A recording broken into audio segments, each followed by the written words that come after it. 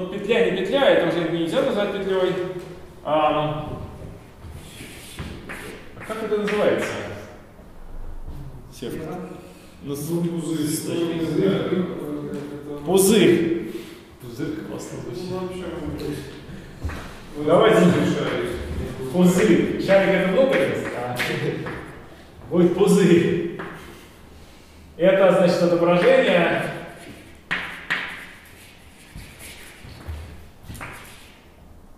Значит, какой мы камерный, да? Камерный. Пузырь – это отображение СК с фиксированным началом тоже.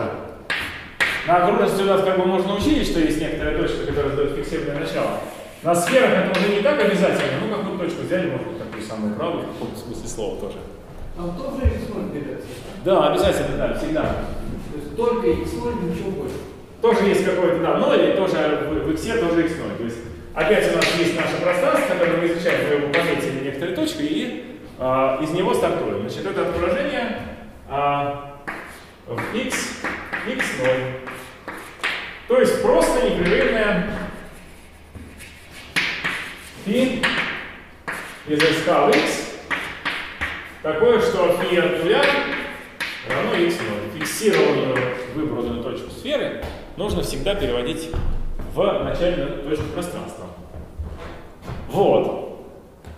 А, ну и что здесь нужно сказать? Абсолютно аналогично. Пардон. Абсолютно аналогично определяются гомотопии. То есть гомотопия это отображение P из SK на 0,1 в X такое, что, соответственно, T от точечки при нуле равно φ 0, а T от точечки при единице равно φ 1. Ну и которая тоже постоянно точку переводит в точку при любом T. И непрерывно на вот таком вот многомерном цилиндре. То есть на цилиндре, являющемся а, прямым произведением К-мерной сферы и отрезка на. Ну, К-мерная сфера это просто множество всех решений а, вот такого уравнения. Комерная сфера это вот такая штука. Да? А, множество вот такое, а, которое лежит, соответственно, в а, k плюс 1. То есть k плюс 1 координата, сумму квадратов заеди заединяем. Не зануляем, заединяем. Получается камерная сфера для того, что одна размерность ушла из-за вот этой вот... Из а? Да, сейчас, сейчас, сейчас, сейчас.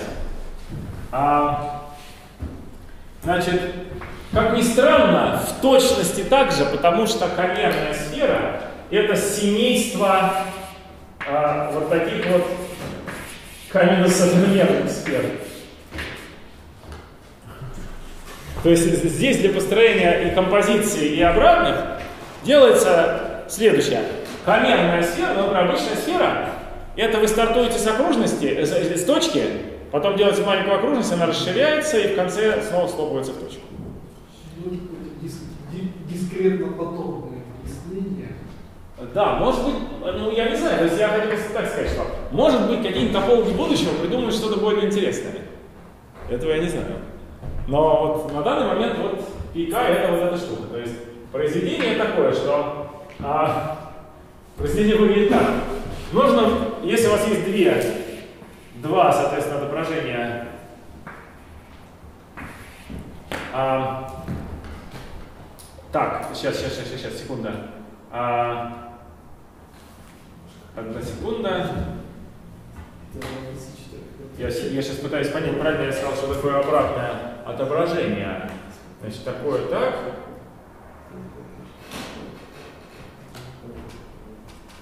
А правильно я сказал, что такое обратное. Надо. Знаете, я сейчас скажу, что такое произведение, и мы подумаем. Произведение – это вот что такое. Это, если есть две такие вот сферки, то мы строим их произведение так. Берем сферу, а, дальше вот считаем, что вот это ее талия. И сжимаем ее в точку. Как у балерины. Вот так. Получается. Вот. То есть а, это означает следующее, что левая половина этой сферы отображается сюда, как вот эта сфера, при этом вся талия переходит в одну точку.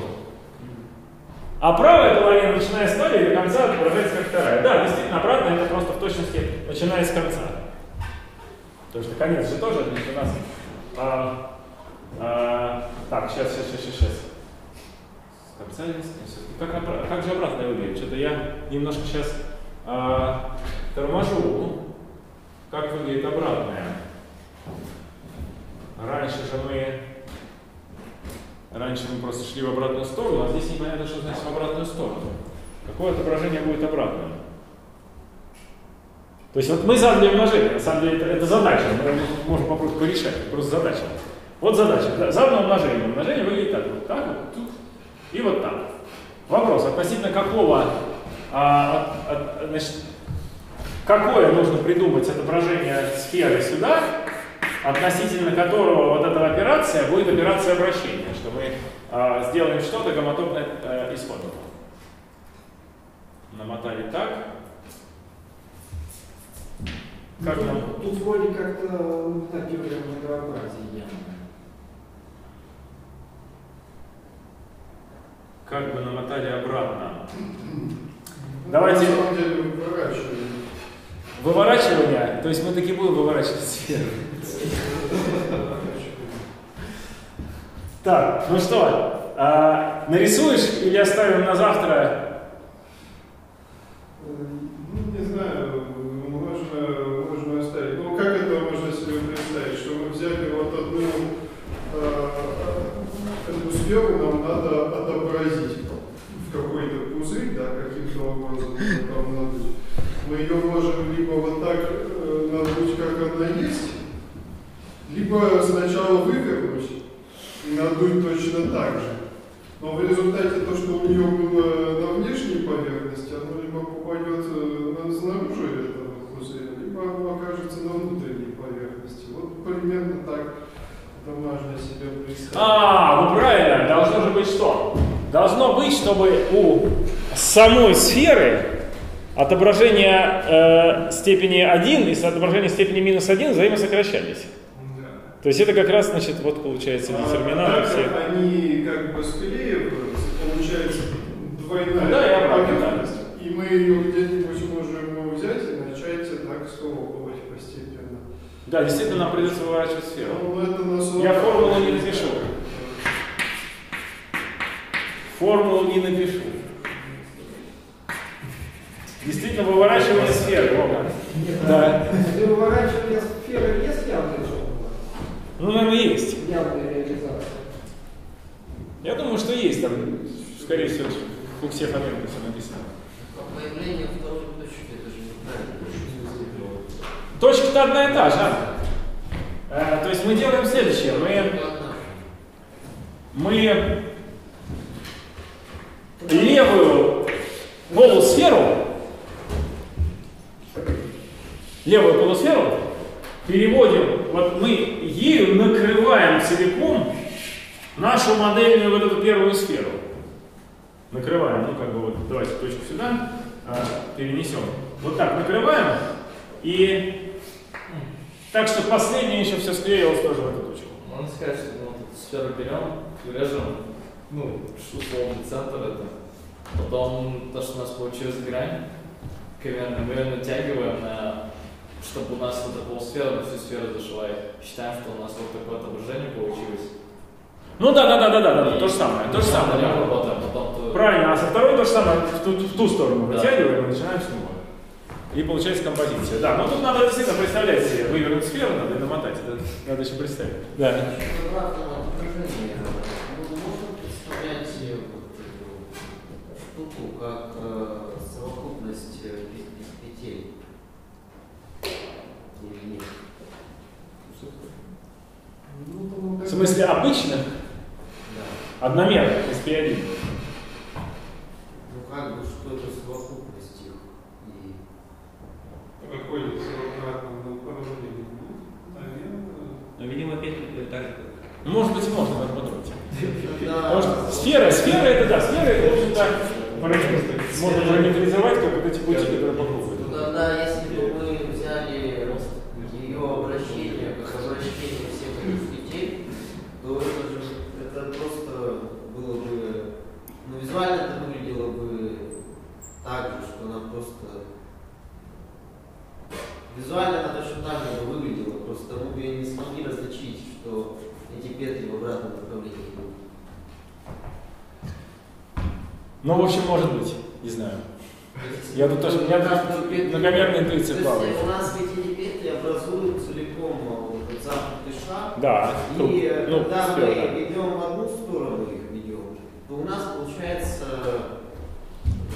шар. А если бы мы все обратили, у нас снова получился этот бы шар, и мы бы не заметили, что они обращены.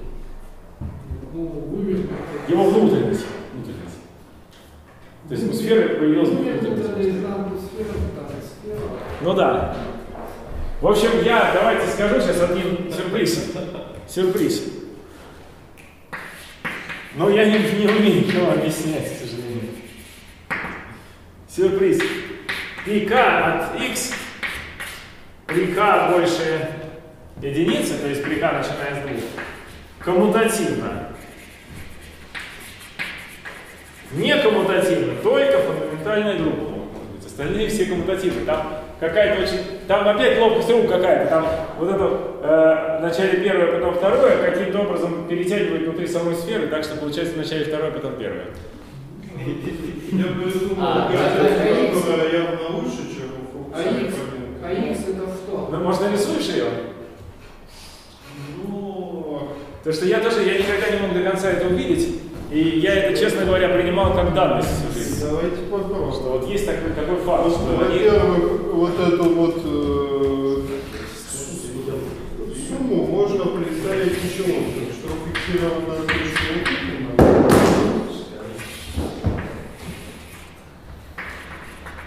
И мы вот эту половинку, то есть талию изобразили вот здесь как бы, вот эту половинку отобразили, это, это у нас одна э, из, э, одно отображение. Э, Эта половинка сферы отобразилась сначала в первую сферу, потом из нее в первый пузырь, да? А нижняя половинка в, другую сферу, из нее во второй пузырь. Вот таким образом мы пузыри склеили. То есть из вот вначале они у нас выглядели вот так, а потом мы растянули эту и получилась вот такая штука. Я понял, в чем у меня ошибка ключевая, которая мешает нам все понять. а, точку x0 я рисовал слева и справа. Надо было рисовать именно в середине, где склейкали. Ну, видимо, да. То есть А это теперь- перпендикулярно эту талию, а надо было как, как надо. Талия наша параллельная, да, земле? А теперь представьте себе такую вещь. Мы берем вот этот экватор и его поворачиваем относительно вокруг вот такой вот оси. Поворачиваем. То есть просто вот так. Да, на всё. 180 градусов. Верхняя и нижняя половинка меняются местами. И значит, после того, как повернули, уже нижняя половинка переходит в первый позу, верхняя во второй. А стягивание все время сохраняется, да, вот этот по поясу? Стягивание сохраняется, и в общем ясно, что это непрерывная операция, вот это поворачивание, этот поворот. Ну, может быть, это А, не совсем... стягивание в конце и в начале есть, а по пути оно... Пути. Нет, Или по пути, есть, по да? пути. У нас в каждый момент экватор, вот этот, когда мы его поворачиваем, он э, стянут в одну точку. А, понятно, понятно. Но при этом верхняя половина в один переходит пузырь, нижняя в другой. Но потом они меняются Потом постепенно местами. меняется местами, да? И, по-моему, это ровно то же самое, что у них нарисовано, просто другими другому Вот это неплохо, кстати, слушай.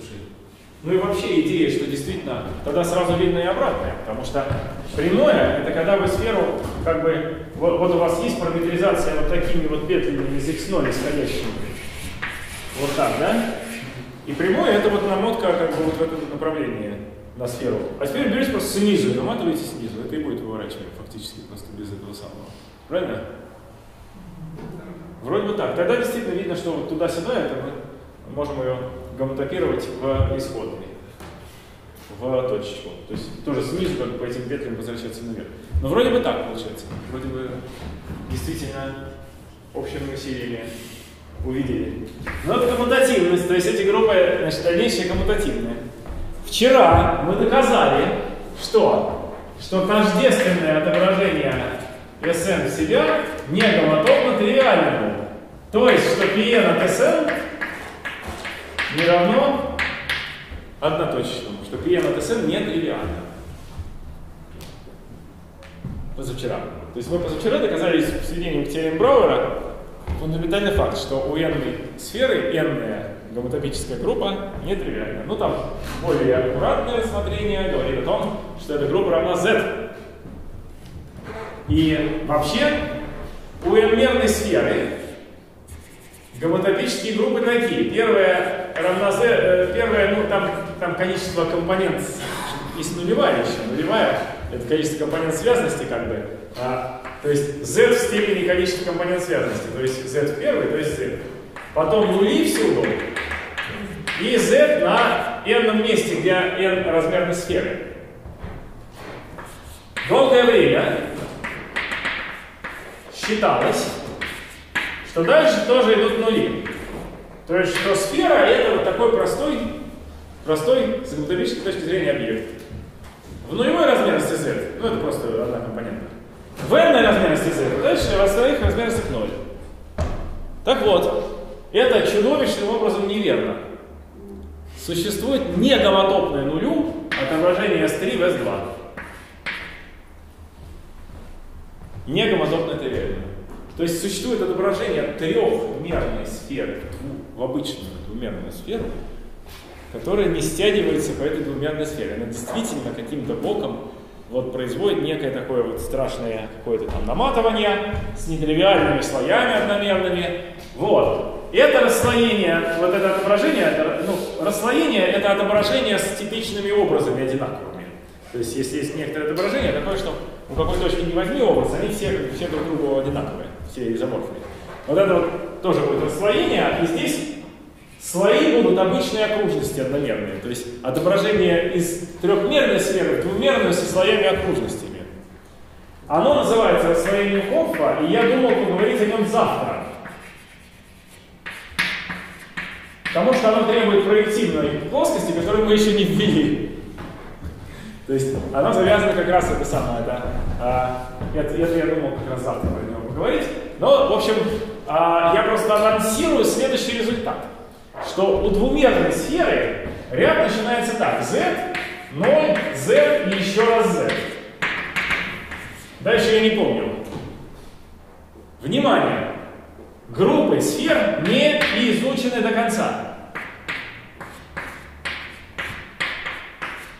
Вот так. Да.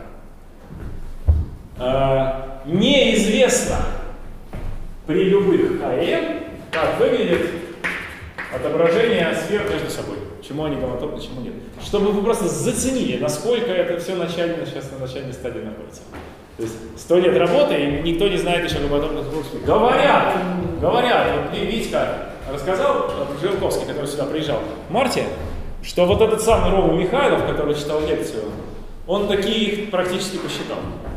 А, питерский математик молодой, они с каким-то индусом там заперлись где-то на две недели в квартире и только занимались, что решали эти задачи, не пили, не ели и не спали. Ну, это так, э, как это сказать, видимо, для красного словца, но суть в том, что они, значит, в результате какую-то, какие-то там рекуррентные соотношения получили. В общем, задача, похоже, почти решена. Но вот э, в каком смысле это решение есть и что нужно под этим понимать, какую-нибудь там а, принципиальную вычислимость на компьютере или еще что-то, я просто не знаю. Я сейчас не буду брать, но прогресс огромный получен вот последний буквально год э, Рома Михайловым и его сам. Ну, там же до этого были всякие достаточно дикие вещи известные, э, типа того с- случая, когда k минус n меньше либо равно 50, ну вот, э, это вроде как было э, посчитано и раньше. Как? То есть были известны все группы? Да, когда не, не сильно так отличаются. То есть размерность того, что мы отображаем, она не сильно больше, ну, на 50 может быть. Не больше, чем на 50 превосходит размерность сферы. Куда? То есть там отображение S55 в S5 известны все, да? Ну, в общем, да. И S там 1050 на S 1000. Это счетная задача такая достаточно суровая. Вот я, я про это не слышал, я не знаю. Ну и там ответы трудные, да? То есть не то, что там 0 или Z и по В понятным. степени Z какие-то в основном. То есть произведение каких-то конечных, Z э, конечных циклических групп, на Z. Кстати, Это правильно, что я написал Z или Z2? Ну, правильно. Z, да? Что-то я сейчас начал сомневаться, Z. Всё. Я там... Да, в общем, э, это со- совершенно такой факт удивительный, что мы про сферы не все знаем. Ну, есть еще такая задача, которая связана с группами Ли. Или давайте я ее завтра оставлю. Задача Адамса о векторных полях на сферах. А, действительно, это связано с группами Ли, так как я более геометричные вещи буду завтра делать, то завтра я расскажу. А сейчас давайте я все-таки про проективную, про проективные преобразования что-то расскажу, да? Чтобы постепенно к геометрии Лобачевского а, подойти. Ну и проективную плоскость тоже почувствовать. Ну а для начала, конечно, просто прямую. Значит, что вообще такое проективная прямая? Что значит проективная прямая, чем она отличается от обычной прямой? А, Я бы сказал так, она от нее совсем чуть-чуть отличается в смысле топологического объекта, а а именно, что проективная прямая а, это прямая с одной бесконечно удаленной точкой, с обоих концов одной и той же. То есть топологически это просто окружность. Но меня будут интересовать более тонкие вещи, чем просто топология. А именно, проективная прямая – это прямая, в которой рассмат- над, которой рассматриваются проективные преобразования.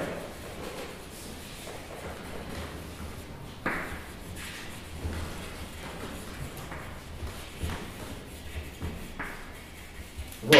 Значит, теперь я хочу э, сказать, что такое проективное преобразование. В принципе, начнем с того, что можно взять эту прямую, перевернуть как-нибудь, сохраняя на ней ту же координату, как координатную систему. То есть у нас была 0, там 1, то есть это все, грубо это все живет в метрическом, обычном, на, на обычной метрической плоскости, с ликвидным расстоянием там, и так далее.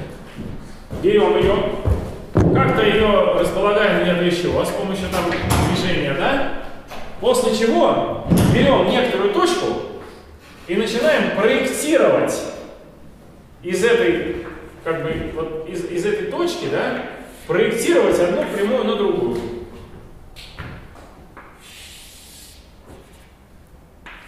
Ноль, скажем, перешел в минус там 4, да? Один перешел куда-то в минус 1 у меня, да? Что-то сюда перешло. Сюда ничего не перешло. Это прокол. Здесь ничего нет. Дальше идем. Значит, вот очень-очень далекие вот в ту бесконечность точки прямой перешли вот сюда. Вот эта точка перешла прямо, как бы сказать, ну, в себя, неправильно сказать, потому что а, нужно смотреть, куда она перешла в координатах. То есть, вот эта координата, скажем, ну сколько тут, 5, 6 будет примерно, да? Она перешла в минус 6. 5, например, перешла в минус 6. То есть, мы записываем преобразование на одной и той же прямой. То есть мы рисуем график этого отображения, ну там, оно будет таким, оно будет как бы таким вот, типа бесконечность будет уходить где-то и приходить из э, минус бесконечности. Ну, ну, потом, как мы на самом деле формул э, разберемся, как оно все выглядит. Э, это будут совершенно стандартные гиперболы. Вот. И пока просто я хочу сказать, как геометрически выглядит, что это мы из точки проектируем просто одну прямую на другую, а потом э, используем одну и ту же систему координат. Вот она здесь была одна, здесь другая, то есть проектируем и потом обратно возвращаем, смотрим, что куда переходило. Вот такое преобразование называется проекцией или проектированием у Расового про... проецирования, по-моему, даже. Проецирование или проектирование? То ли проектирование, то ли проецирование, я не знаю. А, вот, и это будет такой пример проективного преобразования. Я еще не говорил, что вообще такое проективное преобразование, потому что я хочу к этому подвести вас как, как, это, как экономист по наводке. А, значит, давайте посмотрим, что сохраняется при такой проекции. Ну, например, сохраняется ли длинный отрезков? Нет, очевидно, что нет. Эти далекие огромные переходят совсем короткие здесь, а какие-то, наоборот, очень короткие, которые близки. Да, вот, вот, вот важная точка. Эта точка не переходит никуда. То есть, проектирование, проецирование – это преобразование не всюду определенное. Оно определено конкретно для прямой всюду, кроме ровно одной точки. А значение у него тоже вся прямая, кроме ровно одной какой-то точки. То есть оно отображает почти всю прямую, но почти всю прямую. Возникает соблазн договориться, считать, что у обычной прямой есть точка на бесконечности. И тогда, естественно, эта точка на бесконечности попадает ровно вот сюда. Причем, заметьте, с обоих сторон, оттуда и отсюда. Потому что отсюда она приближается как бы вот, вот с этой стороны, а оттуда она приближается вот с этой стороны. В результате сама бесконечность как бы так естественным образом переходит вот в эту точку. А эта точка, наоборот, переходит в бесконечность, тоже она с обоих сторон. Потому что чуть выше эта бесконечность оттуда появляется, чуть дальше бесконечность оттуда. То есть, а, проективная прямая это естественный объект для того, чтобы сказать, что проектирование или проецирование определено на всей прямой и отображает всю прямую во всю прямую, но не обычную, а проективную. То есть с точкой дополнительной до бесконечности. Поэтому говорим, значит, что проективная прямая это R, объединенная с бесконечностью. Или, понятно по нашему рассмотрению, что это просто окружность.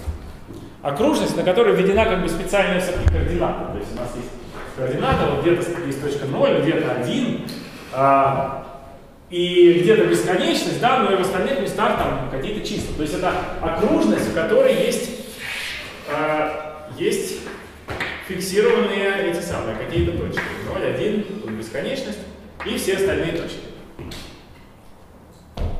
Вопрос. Если длинный отрезков не сохраняется, что тогда сохраняется, если такое есть? Может какое-то отношение? Хорошо. Горячо. Горячо. Очень горячо но не полностью, как бы сказать, вот такое отношение тоже не будет сохраняться. Вот как бы это самое, тут можно приводить примеры, когда отношения будут размазываться. То есть само по себе отношение длин отрезков, как и сами длины отрезков, сохраняться не будет. То есть можно ли как-то очевидным образом здесь усмотреть? А вот этот отрезок там стал. Ну. Ну да, да, да, да, да. А, если мы приближаемся сюда, да, то вот этот отрезок, вот этот отрезок будет становиться огромным, гигантской длины. Вот я вот эту всю конструкцию сюда переместил, вот, вот, пожалуйста, вот два равных отрезка. Один из них перешел в какой-то вполне естественного размера отрезок. А вот этот отрезок перешел отсюда до вон туда. То есть отношение тоже не сохраняется. Но вряд ли, если бы ничего на свете тут не сохранялось, об этом можно было бы вести какую-то науку. Здесь все-таки есть что-то, что сохраняется. Сейчас мы докажем одну замечательную теорему. Это хороший момент. Прямые переходят в прямые. Я, когда шел сюда, понял, что не могу ответить на вопросы, на которые, в принципе, если бы я был профессиональным геометром, я бы ответил в лед. Верно ли, что любое преобразование плоскости, переводящее прямые в прямые, является проектированием? Ну, у нас-то здесь как бы одна, пока мы живем на одной прямой, только мы проектируем, как бы выходя на плоскость, чтобы спроектировать с одной прямой на другую. А, и там, понятно, что ну, там прямая одна, там нельзя говорить о том, что прямые переходят прямые. А вот на плоскости это вопрос вполне актуальный. Плоскость проектируется на плоскость в трехмерном пространстве, там, соответственно, с разными ракурсами из разных точек. И можно заметить, что, естественно, при этом прямые переходят прямые. Вопрос, верно ли, что прямые переходят прямые, это характеризация проективных преобразований плоскости? Неверно, да? Я думаю, что неверно. Можно какие-то хитрые линейные преобразования, которые в прямые. Коля, ты что скажешь? Нет, а, я не знаю. А, а движение, что ли, просто сдвинули прямые? А это- ну, это- это- проективное, а. проективное. Нет, э, движение это э, проектирование из, из бесконечности просто. То есть здесь опять здесь нужно бесконечность как бы использовать во всех смыслах. То есть движение это просто проектирование из бесконечности. Поворот. Так, поворот это. Просто, наверное, поворот действительно не проектирование. Видимо, надо более, э, как-то более аккуратно говорить. А, нет. А, просто сейчас поворот. Поворот. Сейчас я скажу. Значит, на самом деле, я сейчас скажу следующее. Значит, э, проектирование – это один из видов проективных преобразований. Но все виды я еще не описал. Сейчас я опишу все виды, и движение окажется тоже проективным. Но не проектирование. Бесконечно точки. Может, из бесконечной... э, то есть поворот – это проектирование бесконечной удаленности. Любое движение. Любое движение, да? Ну, вообще на афинное переводят все прямые в прямые, а проективное часто афинное получается. А афинное переводит в прямые, в прямые. А, Но афинное – это, э, это часть проективности. Да. То есть проективное – это более общий вид преобразования, приводящий прямые в прямые. мы же можем организовать этот, а, симме- осевую симметрию как проективное преобразование. С одной плоскости на другую. Ну, то есть осевая симметрия это поворот. Ну и все из нее все получается. Любое движение это композиция. Нет, ну да, нет, то есть при правильном взгляде э, проективное преобразование включает в себя все наши стандартные движения. Вопрос другой. Верно ли? А, мне еще нужно уточнить. Дело в том, что прямые в прямые, строго говоря, если прямые в прямые и ни одна точка не уходит на бесконечность, это один вопрос. А если прямые в прямые, но каким-то точкам разрешается ходить на бесконечность, это другой вопрос. Да, Два разных вопроса. Проективные прямые. Да, проективные прямые, проективные прямые. Будет ли это проек- только проективное преобразование? В общем, я даже не знаю. Давайте я покажу, что сохраняется.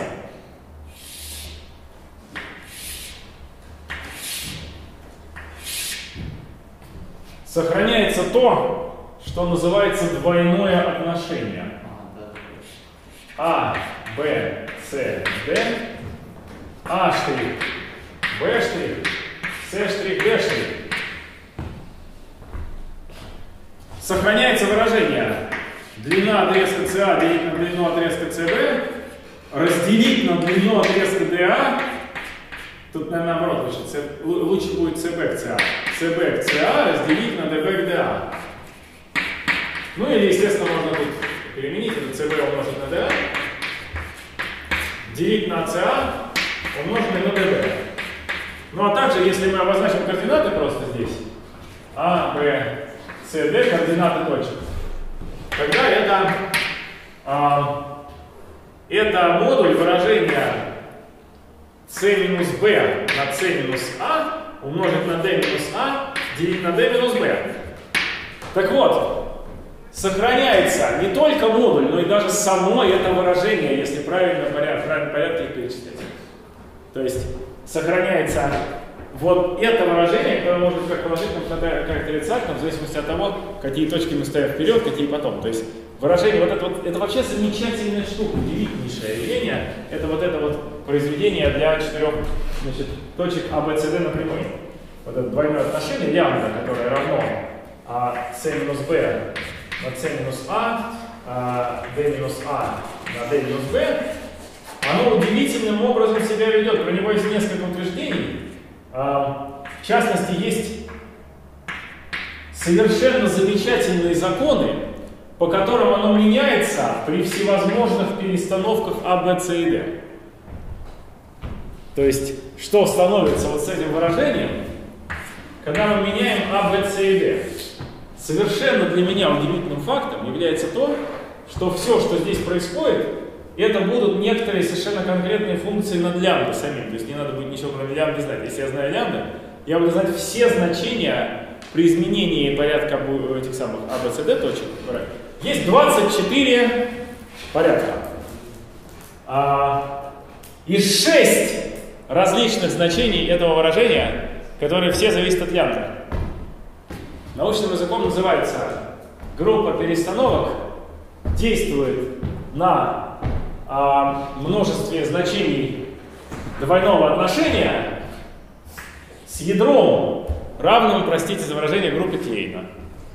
И все это я хочу обязательно вам рассказать. Я сегодня, видимо, это все не успею, но так как это чрезвычайно красиво и важно, это пример действия группы, то есть это фактически геометрия в чистом виде, только в дискретном ее варианте, то это очень хороший, так сказать, это очень, очень хороший пассаж, и он еще связан. Знаете, с чем он связан? Все знают, как вычислять определитель третьего порядка. Видели вот такие картинки когда-нибудь? Ну. На любом, на недавно недавно. Вот. Так вот, никто не знает, и я не знал тоже до сих пор, пока в одной книжке не прочитал, что они же есть и для 4 на 4. Еще давно недавно же вывели. А? Недавно же вывели. Э, ну, я не знаю, насколько давно вывели. А, я это обнаружил в книге Кострикина «Введение в алгебру» в качестве упражнения. И его с удовольствием решил с использованием группы V4, группы Клейна тоже. А, то есть, значит, есть очень похожая ситуация в четырех, для четырехмерных определителей. Она, разумеется, гораздо более сложная, но она тоже напрямую связана с группой Клейна. В общем, э, отдельный сюжет, это группа Клейна, V4 называется, э, в группе всех перестановок на четырех элементах. Это будет отдельный сюжет. А пока я хочу доказать теорему, что действительно сохраняется это отношение. Если я докажу терминах сохранения модуля, но там аккуратно, если исследовать знаки, то видно, что знак тоже сохраняется. То есть здесь нужно... э, Здесь самое сложное это доказать именно это. И на самом деле это очень, в общем-то, несложно. Давайте посмотрим а, на то, как это сделать. А, Итак, обозначим это за О. Через. А? Да, через, через углы. И обозначим эти углы за альфа, бета и гамма. Сейчас я вот это выражение приведу к виду, которое содержит только эм, углы альфа, бета, гамма. Больше ничего. Поэтому, разумеется, если я посчитал для вот такой картинки и для вот такой, то оно будет одинаково. Итак, давайте попробуем это сделать.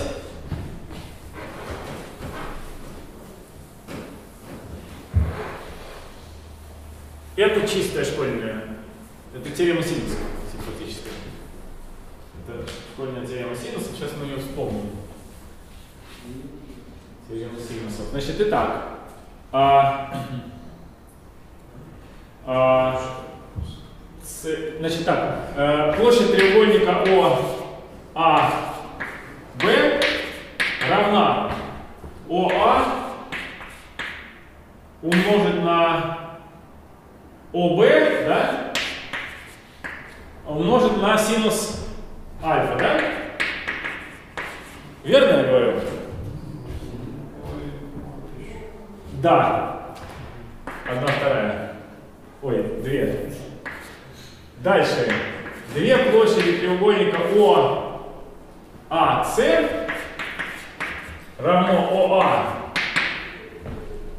умножить на ОС, да, на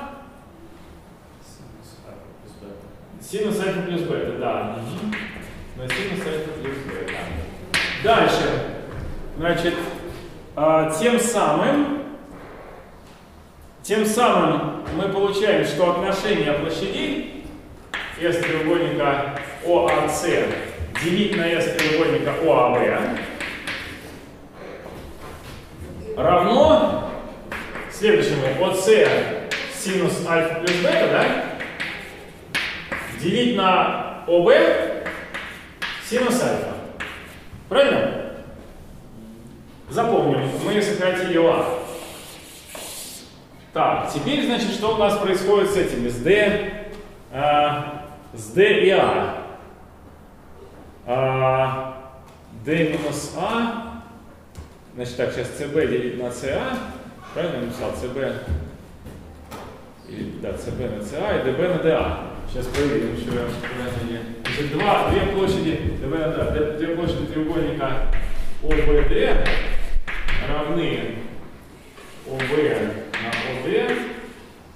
А, мне не нравится, что-то там не только сокращалось, да? Я, наверное, не те брал.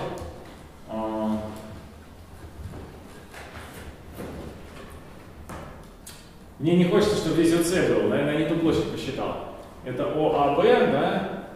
А это ОАС. Может, ОБС мне здесь сделать? Если ОБС, это будет что? ОБ на ОС, да?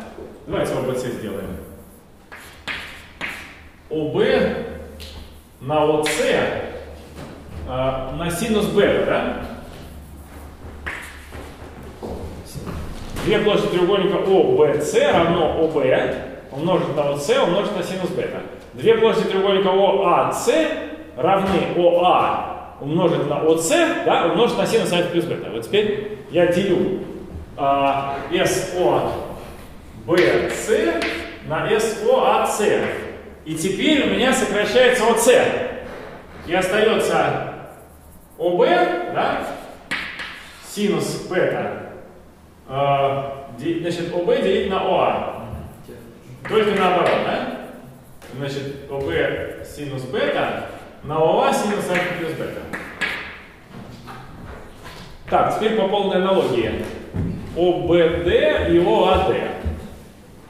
ОБД это ОБ умножить на ОД на синус бета плюс гамма. А две площади треугольника ОАД равно ОА на ОД, отлично, на синус суммы всех углов. Верно?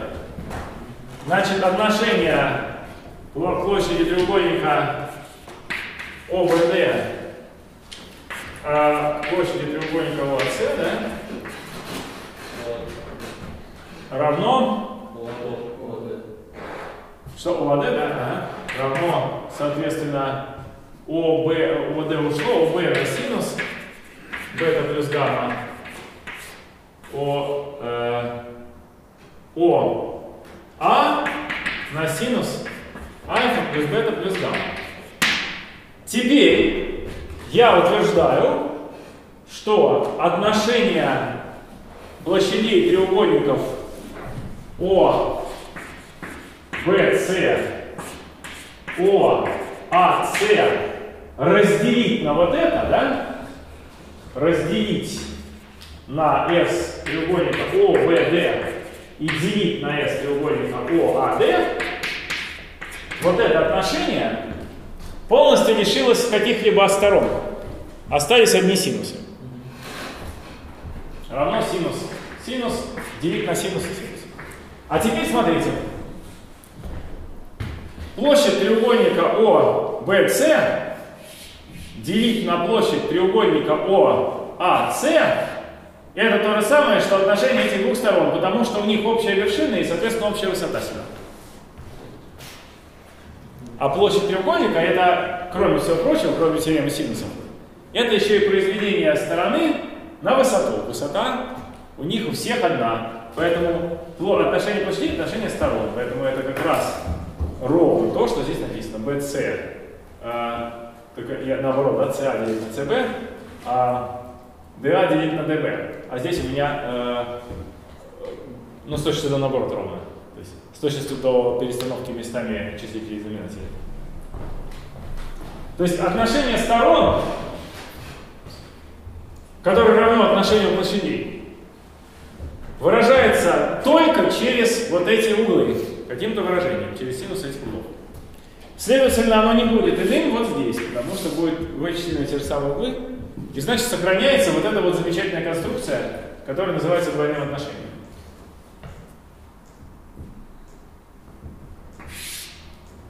Все, теперь можно дать определение. Определение. Отображение прямой в прямую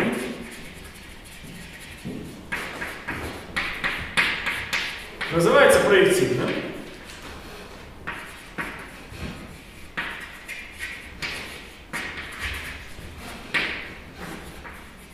Если оно сохраняет двойное отношение.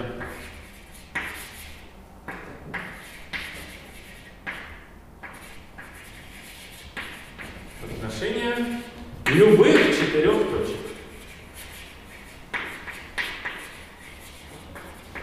То есть тем самым это проектирование, все, все композиции проектирований. Ну и, как бы сказать, может быть что-то еще, мы пока не знаем. И нам сейчас самое интересное даже не то, что можно все представить в виде композиции проектирования, а в том, чтобы записать его в каком-нибудь очень простом, удобоваримом виде.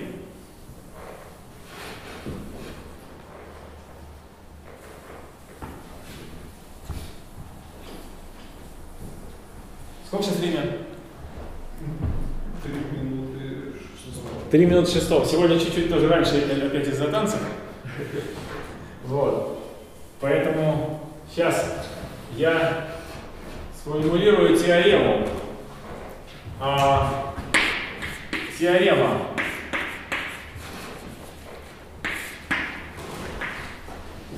Отображение прямой.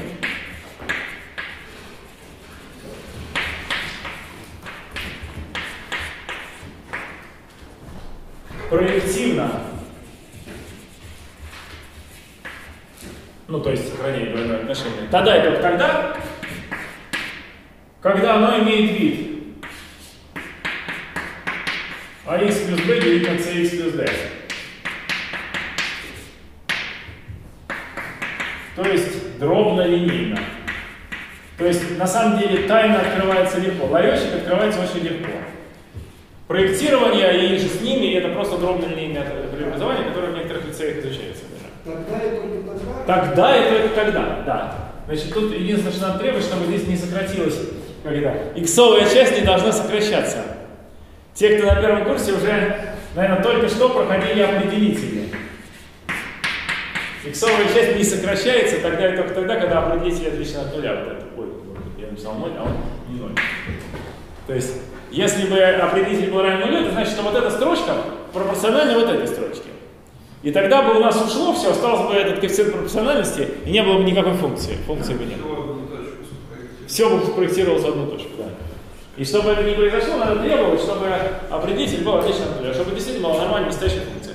И вот такие функции называются дробнолинейными. Выясняется, что на обычной прямой, то есть в размерности 1, э, проективное преобразование и дробнолинейное преобразование это одно и то же. Доказательство, оно, ну, оно, так сказать, на самом деле блок. И как, как я бы сказал, что оно немножко такое техническое. То есть в обе стороны это техническая проверка. Например, а, что значит, что оно сохраняет отношение, двойное отношение а, четырех точек? И это значит, что нужно доказать, что выражение, а, построенное из x, y, z и t, а, которое выглядит так, Значит, а, там сколько у нас? У нас c минус b делить на c минус а и d минус э, а делить на d минус b. c минус b, и это значит а y, ой, c, ну да, а y плюс b делить на c y плюс d, нет, c минус b, это z уже пошла, z.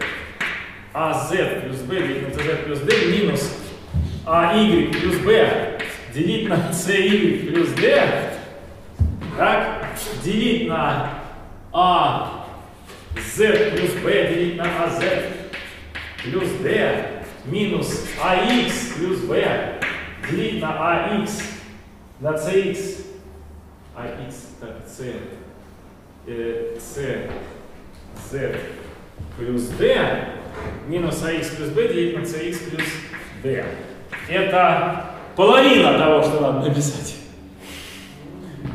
И это нужно разделить на выражение АТ плюс B делить на СТ плюс D минус А Y плюс B делить на CY плюс D делить на АТ плюс B делить на CD плюс D минус AX плюс B делить на CX плюс D что вот это равно ничему иному, как z минус y делить на z минус x, разделить на t минус y, делить на t минус x. Вот. Значит, э, это проверка на 10 минут. Нужно сделать следующее. Вот здесь, на самом деле, многое сократится. Там уйдет a, c, z, y сразу идет. И а, B, значит, сейчас что-то еще идет. BD. BD уйдет. Значит, из восьми членов останутся четыре. Они распадутся в какое-то простое произведение. Да, значит, здесь а, будет...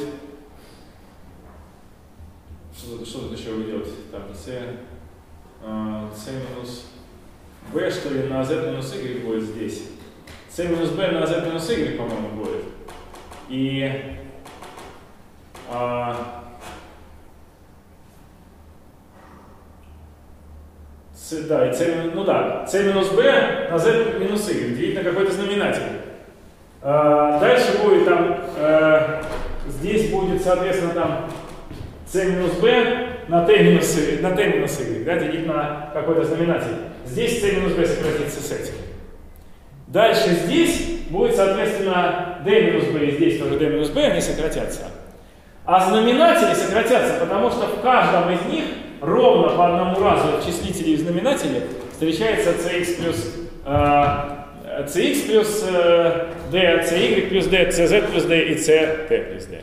То есть знаменатель можно сразу умножить на все четыре знаменателя и перемножать без знаменателей, и тогда у нас просто остаются выражения вот эти b минус c сократится здесь, b минус c, а здесь, соответственно, d минус c сокращается, и возникнет выражение ровно такое. То есть, ну, это просто ну, такая проверка в В обратную сторону немножко, немножко это самое, то есть в обратную сторону, а, в обратную сторону ситуация такая.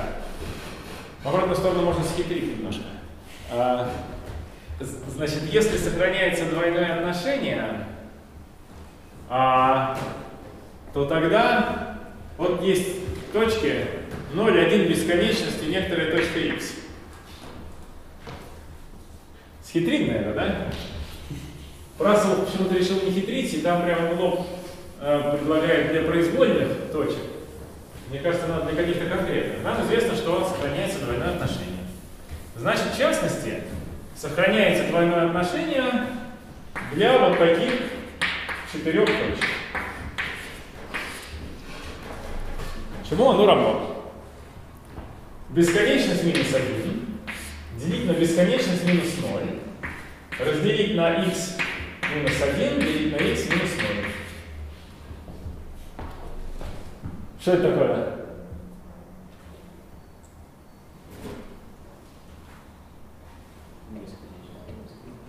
Нет, это, это сократится, потому что это единица. А. Это просто x. А. делить на x минус 1. Честно говоря, мне кажется, что если бы я в правильное место впендюрил x, то это, то это отношение было бы равно самому x. Более того, я же знаю на самом деле, как преобразуется оно при заменах, и помню, что вот, такая, вот такой элемент возникал из лямбды. Вот. Поэтому ну, нужно x куда-то не туда вставить. Куда надо ставить x, чтобы получился ровно x? Нужно, чтобы x, а, а, значит, единицу должен убить, вот этот самый, да? x минус 1, как бы, как бы А, Куда вставить его? Значит, нужно, чтобы здесь э, бесконечность, ну, бесконечно равна Там сократить? квадратное уравнение получается. Значит, x, быть x минус 0 деленное на 1 плюс 0. Что, никак сам x не было, нет, должен получиться x. x, x как-то все-таки должен да, получиться у нас x. Ну Так, как, смотрите, если x минус 0 поделить на 1 минус 0. А, о, о, о, о, о, x минус 0, делить на 1 минус 0, и это ведь и есть x. Поделить на бесконечность минус 0, а, сейчас x минус 0 на 1 минус 0. Бесконечность минус 1 деленное на бесконечность минус x. Нет, у тебя x уже... Сейчас, сейчас, сейчас, сейчас. Значит, вот, и- вот это очень Да, хорошо. можно перевернуть 1 минус... Ой, x минус бесконечность деленное на 1 минус бесконечность. А, x минус бесконечность, 1 минус бесконечность, есть. x минус а, 0, 1 минус 0, да? Ну, ну, вас перевернут. X. Да, то есть нужно наоборот, x минус 0, 1 минус 0, разделить на x минус бесконечность, делить на 1 минус бесконечность, Да. правильно, да? Вот это x. Вот это явно x. Теперь как он должен быть расположен? x минус 0, а, значит, x, x минус 0, а, b минус, э, как же она там записана-то, господи. А, ладно, давайте пока так. Завтра мы будем играть в эти игрушки. А, то есть завтра мы будем преобразовывать вот эту, вот, эту штуку, когда она будет переставляться. Вот, то есть будем заниматься действием S4 на значениях двойного отношения. И тогда мы точно выведем, где там возникает x, но где-то он обязательно возникает. Поверьте мне на слово. И вот этот x должен быть равен а, в результате двойному отношению, а, соответственно, точек, которые возникнут. Точки, которые возникнут, это образы вот этих трех точек, ну вот точки 0, 1 и бесконечность куда-то перешли. Мы не знаем куда, но мы можем обозначить это за какие-то константы. То есть наше отображение, э, которое является э, проективным, перевело точки 0, 1 и бесконечность в какие-то А, Б и С. Вот. И, соответственно, должно быть, чтобы x было равно А, Б, С, x. Вот. То есть какому-то выражению типа там, а, значит, там какой-нибудь альфа x минус бета, там плюс b делить на гамма x плюс дельта вот здесь, здесь, что-то в этом духе. А, ну там, да, там надо, надо аккуратнее посмотреть. А, в общем, когда мы будем это, когда мы будем решать такое уравнение, у нас получится дробное линейное на x выражение. Вот, надо, надо посмотреть аккуратнее, чтобы не возникло этих самых, чтобы не было то есть x стоит на каком-то месте не последним, потому что, видите, здесь у нас x где-то внутри стояло. И вот если мы аккуратно узнаем, на каком месте он должен стоять, и произведем соответствующие расчеты, тогда здесь будет линейное выражение, и тогда будет уравнение вида там x равно какой-то линейной функции тоже от x. То есть мы будем разрешать его как дробно линейное уже. Вот. И давайте завтра действительно это проделаем. То есть завтра Первое. Мы берем двойное отношение и начинаем в нем изменять порядок точек. Смотрим, что в результате у нас возникает. Второе. Э, обнаружив очень интересную подгруппу в S4, которая сохраняет двойное отношение, используем ее для начертания определителя э, 4 на 4. Третье, все-таки аккуратно проделаем то, что сейчас сделано, чтобы понять, что дробно-линейное и проективное это одно и то же. Четвертое, введем расстояние между точками а, на плоскости некоторым специальным новым образом, как логарифм, как модуль логарифма модуля двойного отношения. После чего, значит, э, скажем, что если так, вот у нас так возникает расстояние, да, то тогда можно говорить о том, что проективные это те, которые сохраняют расстояние. То есть это такие как бы квазидвижения. Движение это то, что сохраняет расстояние. Если мы расстояние ввели некоторым специальным образом, необычным, то мы говорим о том, что мы имеем дело с движениями, ну как бы движениями чего-то такого проективного. И дальше мы, дальше мы на, этом, на основании вот таких расстояний, таких а, движений введем а, вариант плоскости э, Лобачевского. И с ним поработаем немножко. То есть рассмотрим одну модель, другую, третью модель плоскости Лобачевского. Ну и закончим, соответственно, там а, я хотел бы вернуться к вопросу о движениях плоскости с точки зрения группы линий. То есть какие там внутри происходят. Э, внутри, на, э, то есть э, поговорить о группе движений плоскости. Ну и заодно с первым. Вот. Спасибо. Сегодня, пожалуй, хватит. Сегодня очень много ошибался. Сегодня мне не, не надо было хлопать.